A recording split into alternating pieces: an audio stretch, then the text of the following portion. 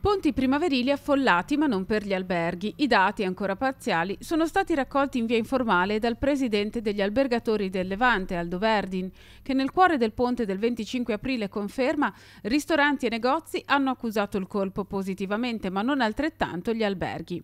Sulla Vagna alla fine chiuderanno benino questo, questo mese di, eh, di aprile. Su Chiavari non, non è andata così bene, è andato malino.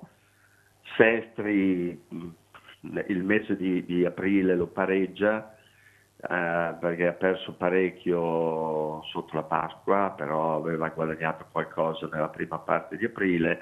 Rapallo e Santa Margherita purtroppo i dati sono negativi. I motivi sono tanti e molto ampi da analizzare. Senza dubbio la crisi ha influito sulla durata dei soggiorni e sulle notti che si spendono in albergo, ma oltre a questo c'è l'evoluzione del comparto verso una preferenza netta per le case vacanza da affittare anche per periodi brevi.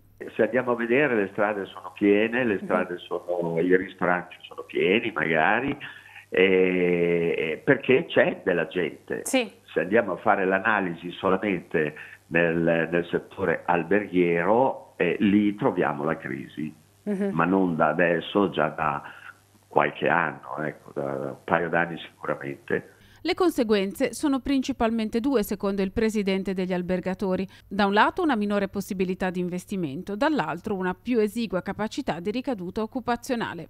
Sempre più spesso, se gli albergatori cominciano a stare in crisi, danno in, in esterno i servizi che prima seguivano loro dall'interno.